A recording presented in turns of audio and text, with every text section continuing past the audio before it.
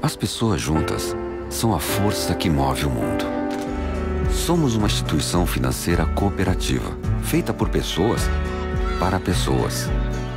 Porque a vida é melhor quando é cooperativa. Sicredi, gente que coopera cresce.